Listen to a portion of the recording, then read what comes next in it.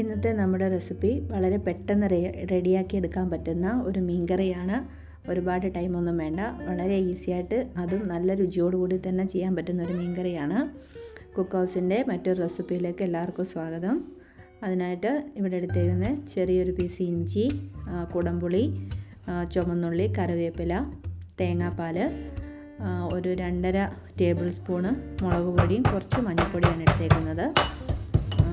ഒരു ആറ് അല്ലി ചുമന്നുള്ളി എടുത്തിട്ടുണ്ട്. ഇഞ്ചിയും ചുമന്നുള്ളിയും കൂടെ ഒന്ന് നന്നായിട്ട് ചതച്ചെടുക്കണം. ഇതൊന്നും വഴറ്റി ചേർക്കുക അങ്ങനെയൊന്നും ചെയ്യുന്നില്ല. തേങ്ങാപ്പാൽ ഒരു രണ്ടര കപ്പോളം ഞാൻ എടുത്തിട്ടുണ്ട്. ഞാൻ ഫ്രഷ് അല്ല എടുത്തേക്കുന്നത് പൊടി കലക്കി തേങ്ങാപ്പൊടി കലക്കി എടുത്തേക്കുന്നതാണ്. ഫ്രഷ് തേങ്ങാപ്പാലാണെങ്കിലും എടുക്കാവുന്നതാണ്. ഞാനല്ലാതെ ഫ്രഷ് എടുക്കുന്നതും ഇതും തമ്മിൽ വലിയ ടേസ്റ്റ് വ്യത്യാസമായിട്ടൊന്നും തോന്നിയിട്ടില്ല.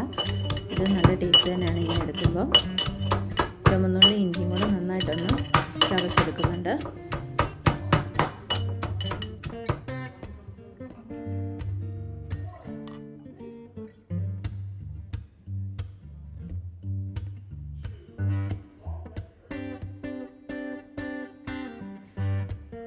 ഇനി നമ്മളിതിലേക്ക് എടുത്തു വച്ചേക്കുന്ന തേങ്ങാപ്പാൽ ചേർത്ത് കൊടുക്കുകയാണ്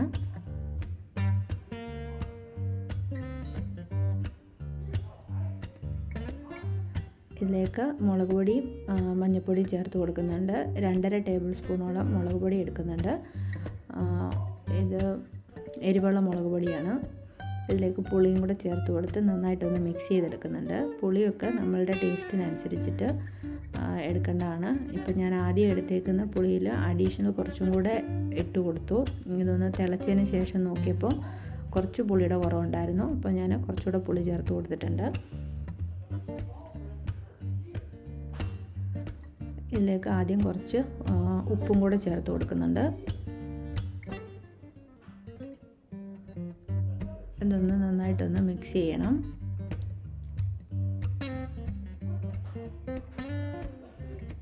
കുറച്ച് വെള്ളം കൂടെ ചേർത്ത് കൊടുക്കുന്നുണ്ട്.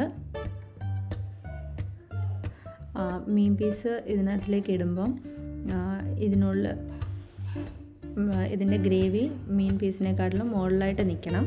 ആ ഒരു പരുവത്തിനുള്ള വെള്ളമൊക്കെയാണ് ഒഴിച്ചു കൊടുത്തേക്കുന്നത്. ഇവിടെ ചൂരമീനാണ് ഞാൻ എടുത്തേക്കുന്നത്. നന്നായിട്ട് കഴുകി വൃത്തിയാക്കിയേക്കുന്നത്. അര കിലോ ചൂരമീനുണ്ട്. ഇനി ഇതിലേക്ക് മീനിന്റെ പീസ് ഇട്ട് കൊടുക്കുകയാണ്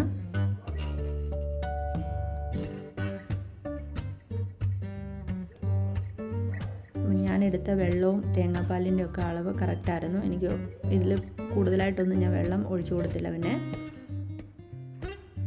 ഇതിലേക്ക് ഒരു ടേബിൾ സ്പൂണോളം വെളിച്ചെണ്ണയും കൂടെ ഒന്ന് ചേർത്ത് കൊടുക്കുന്നുണ്ട്.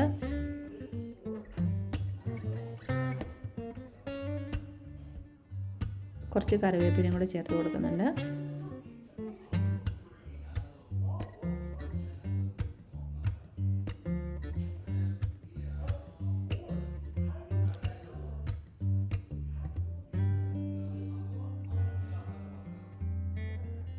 ഇനി ഇതൊന്ന് തിളച്ച് വരണം. ആദ്യം ഒന്ന് അടച്ച് വെച്ചൊന്ന് തിളച്ചെടുക്കണം. ഒരു പത്ത് മിനിറ്റ് കഴിഞ്ഞതിന് ശേഷം ഒന്ന് ഓപ്പൺ ചെയ്ത് നോക്കുന്നേ. അപ്പോൾ നന്നായിട്ട് തിളച്ചിട്ടുണ്ട്. അപ്പോൾ ഈ ഒരു പരുവത്തിന് ഞാൻ ഒരു പത്ത് പതിനഞ്ച് മിനിറ്റ് കഴിഞ്ഞായിരുന്നു. ഈ ഒരു പരുവം ഞാൻ നോക്കിയപ്പം ഉപ്പിന്റെയും പുളിയുടെയും കുറവുണ്ടായിരുന്നു. അപ്പോൾ ഞാൻ ഈ ഒരു ടൈമിൽ ആവശ്യത്തിനുള്ള ഉപ്പും പുളിയും കൂടെ ചേർത്ത് കൊടുത്തിട്ടുണ്ട്. ആ ഒരു ടൈമിൽ തന്നെ ഒരു രണ്ട് മൂന്ന് നുള്ള ഉലുവ പൊടിച്ചതും കൂടെ ചേർത്ത് കൊടുക്കുന്നുണ്ട്. ഇനി ഇതിന്റെ ഗ്രേവി ഒന്ന് വറ്റി വരണം. ഗ്രേവി നന്നായിട്ടൊന്ന് വറ്റി ആ മീനിലോട്ട് ഉപ്പും പുളിയും എരിവും ഒക്കെ പിടിക്കണം. ഞാൻ ഇച്ചിരി ഗ്രേവി ആക്കി കൂടാണ് എടുത്തേക്കുന്നത്. എന്നാലും ഗ്രേവിക്ക് നല്ല തിക്നെസ്സും ഉണ്ട്. എരിവും ഉപ്പും പുളിയും എല്ലാം എന്റെ ടേസ്റ്റ് അനുസരിച്ചിട്ട് തന്നെ വന്നിട്ടുണ്ട്. മീൻ മീനിന്റെ കഷ്ണത്തേലോട്ടെല്ലാം നന്നായിട്ട് എരിവും ഉപ്പും പുളിയൊക്കെ പിടിച്ചിട്ടുണ്ട്. ഇനി ലാസ്റ്റ് ഇതിലേക്ക് ഉള്ളി ചുമന്നുള്ളിയും കടുകും കൂടെ ചേർത്ത് കൊടുക്കാൻ വേണ്ടിയിട്ടാണ്. ഇതിന് ആവശ്യത്തിനുള്ള വെളിച്ചെണ്ണ ഒഴിച്ചിട്ട് കടുക് ഒന്ന് പൊട്ടിച്ച് കഴിഞ്ഞതിന് ശേഷം കുറച്ച് ചുമന്നുള്ളി നമ്മൾ കടുക് തളിക്കാൻ എടുക്കുന്ന പോലെ തന്നെ അരിഞ്ഞ് മൂപ്പിച്ച് ചേർക്കുകയാണ് ഇങ്ങനെ കൂടെ ചെയ്യുമ്പം നല്ലൊരു ഫ്ലേവറും നല്ലൊരു ടേസ്റ്റും കൂടാണ് മീൻ കറിക്ക് വരുന്നത്.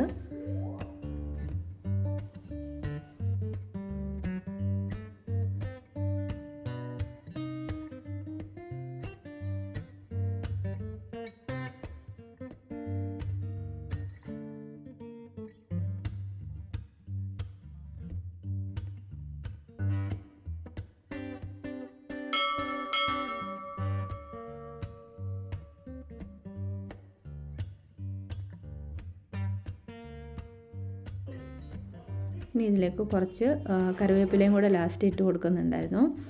ഇനി ഇതൊരു രണ്ട് രണ്ടര മണിക്കൂർ കഴിഞ്ഞതിന് ശേഷം എടുക്കുമ്പോഴത്തേന് നന്നായിട്ട് എല്ലാം ഉപ്പും പുളിയും എല്ലാം ആയിട്ട് മീൻകറിക്ക് നല്ലൊരു ടേസ്റ്റ് ആവും. ഇന്ന് വെച്ചിട്ട് നാളെ ഉപയോഗിക്കാമെങ്കിൽ അതായിരിക്കും ഒന്നും കൂടെ ടേസ്റ്റ് ട്രൈ ചെയ്തിട്ടില്ലാത്തവർ തീർച്ചയായിട്ടും ട്രൈ ചെയ്ത് നോക്കണം.